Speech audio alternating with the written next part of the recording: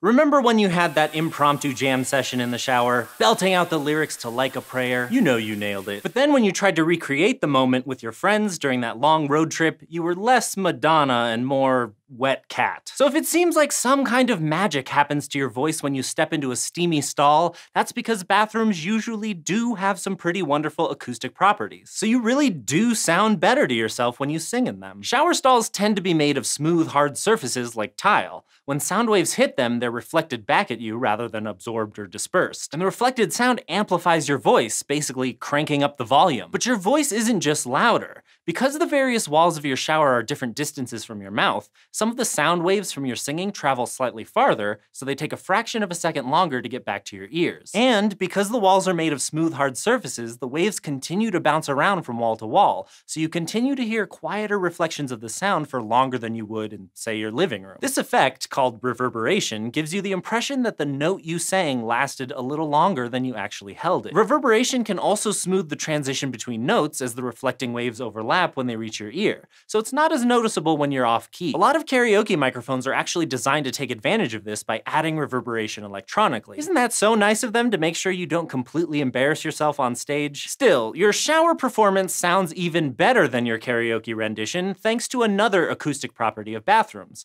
resonance where sound waves line up in just the right way to amplify the sound. In the shower, that happens when the wavelength of a note matches up with the size of the room in a way that makes the peaks of the reflected waves line up. Lots of different notes will resonate in there, but they'll also combine with other reflected sound waves in a way that cancels out some of the sound. This effect is much more noticeable with the deeper bass tones because they have longer wavelengths with more distance between the peaks. So instead of the amplified and muted sounds being distributed all over the room, it's more like there are a few spots where your bass notes sound either a little muted or totally awesome. The acoustics in the shower are so good that recording artists sometimes use them too. Weird Al's first hit single, My Bologna, was recorded in a bathroom, and the Pixies dragged their equipment into the studio bathroom to get the perfect sound for Where's My Mind and Gigantic. Of course, all of this means that unless you drag your crew into the stall with you, they're probably never gonna hear just how beautiful your rendition of Like a Prayer can be. Thanks for asking, and thanks as always to our patrons on Patreon. If you wanna help us decide what questions questions to answer or get access to a lot of cool stuff that you can't get anywhere else,